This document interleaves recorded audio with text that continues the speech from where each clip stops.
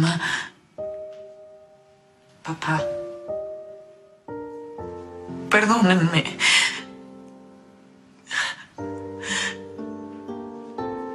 Isabel, yo voy a... Valentina. Valentina, ¿cómo sigues? Eh, tu tía me contó del accidente que tuviste. Ya estoy bien. Eh, me da mucho gusto. Tenemos varios pendientes. Voy a cambiarme para ir al banco con usted. Eh, sí, por favor, espera. Es que puede ser que este no sea el mejor momento para hablar, pero es sumamente importante que te enteres. ¿Qué pasa? Eh, debes regresar a México cuanto antes. ¿Por qué? Por culpa del estafador de Alonso Peñalver. Valentina, hace más de un mes que tú le firmaste como aval de un crédito para la compra de un edificio. Es verdad. Ese miserable no cumplió con el primer pago. Y como está desaparecido, el banco ahora te está reclamando a ti el adeudo. Alonso Peñalbert. ¿Por qué tiene que seguir destruyendo mi vida? ¿Ahora entiendes? ¿Ahora entiendes por qué es urgente que vayas a México? No iré. ¿Cómo? Resuelva usted ese asunto como lo considere mejor. Oye, bueno, entonces tendrás que firmarme unos documentos para responder la demanda. Sí, sí, firmaré lo que sea, lo que sea. Y ocúpese de contratar al mejor. Óigalo bien. Al mejor detective privado para dar con el paradero de Alonso Peñalbert.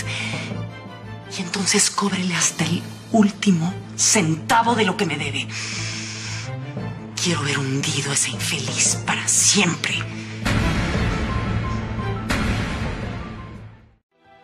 Valentina, si no se te ofrece algo más, me voy a México inmediatamente a cumplir tus encargos.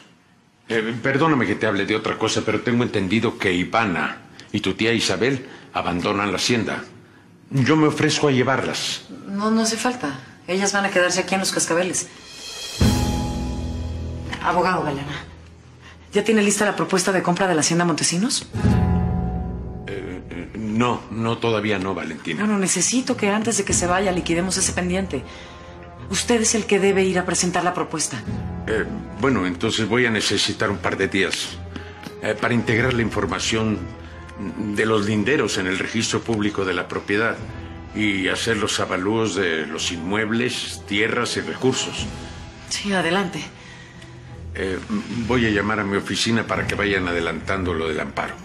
Sí, sí, haga lo que considere necesario. Y ya dejaremos para después la ida al banco. Como tú digas. Eh, me voy a trabajar. Nos vemos mañana.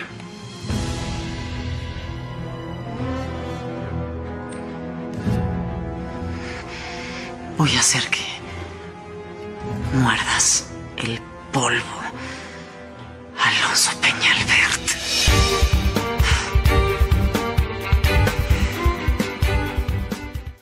Enfrentamos los dos la adversidad, desafiamos también mil tempestades para poder vivir un madrigal. Llegamos con las alas ya cansadas, con las alas cansadas de volar. Por montañas, por valles y cañadas, pero con muchas ganas de cantar.